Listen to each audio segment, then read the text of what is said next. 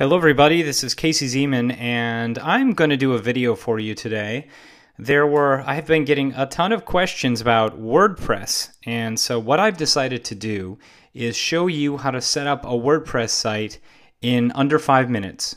Okay, now I don't know if you've ever set up a, a website in at all, ever, but what this video is going to show is going to show you exactly how to do it from start to finish. Okay, so I'm gonna pro- I'm gonna really push through, see if I can get it all in in five minutes. I don't know if I can because there's gonna be a lot of stuff, but but really setting up your WordPress site is very very simple. You just have to let all the technical jargon fly out the window. Don't think that it's too difficult to understand. You'll get it. Trust me. Okay, it's just if you're good at reading directions, just follow along step by step with what I'm doing, okay? Okay, so let's begin. This is how to set up a website, specifically a WordPress site, in five minutes. All right, let's count down, guys. Get ready. Now, this process is easier than you think. Now, first, we have to go to www.godaddy.com and buy a domain. Okay, here we are at GoDaddy.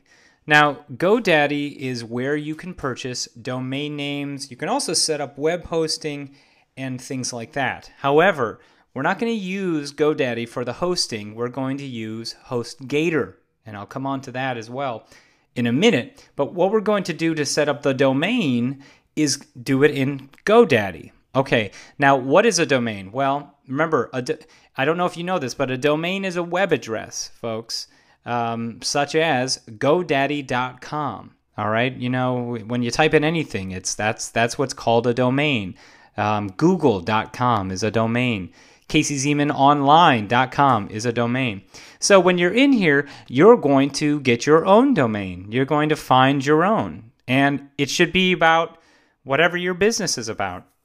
so, for instance, let's say you have a you you are in the dog walking niche, okay? So we would type something in that's relevant to the dog walking niche. So I'm going to type something in and just test it out and we can take a look at it. And you do that by clicking the green go button. So let's do that right now. Okay, step to step doggy walking. Now, uh, so this is available, okay? They, they tell you that this is available and you can add it. All right. Now this is kind of I'm going to give you a little little bit of advice when you're setting up and getting a domain, try not to get domains that are too long. Okay? This one is pretty long. It's pretty difficult to uh, to remember or to write. If you can do something smaller like doggy Let's see if doggy steps. I'm sure that it's already taken.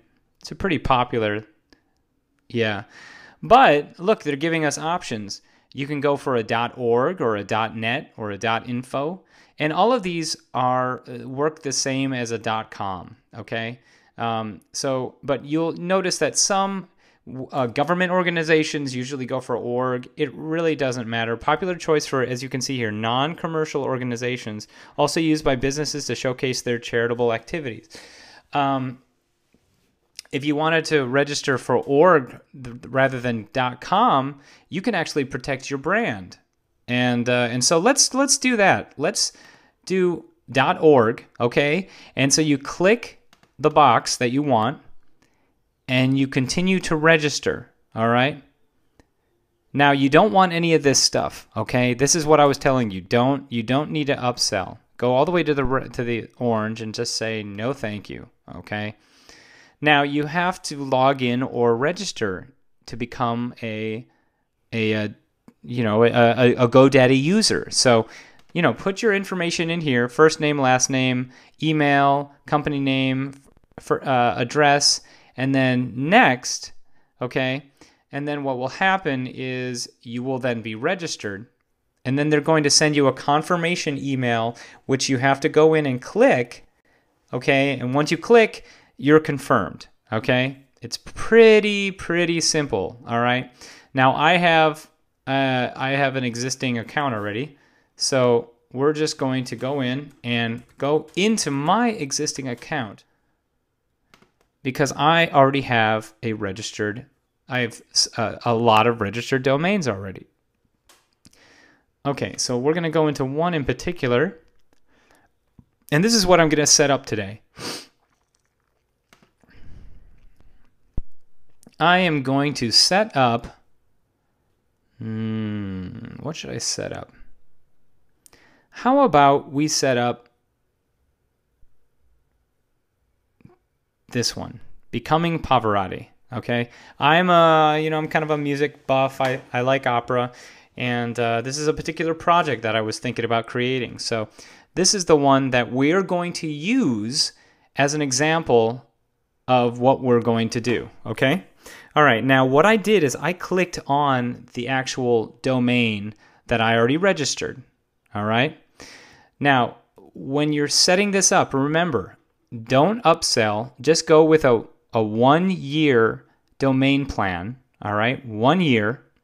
And then once you buy it, you can actually go into your details. All right. And then you once you go into your details, go into all my domains, and you'll have a list of all your domains. Okay? So once I have a list of my domains, I can click on the one I want to look at. And now I'm on a page that is designed for this particular domain, okay? Domain information and uh, and things like that, okay? Now, we're done with that for now, okay? We've already registered the domain. Now we have to go get a hosting account, all right? All right, so let's go to HostGator.com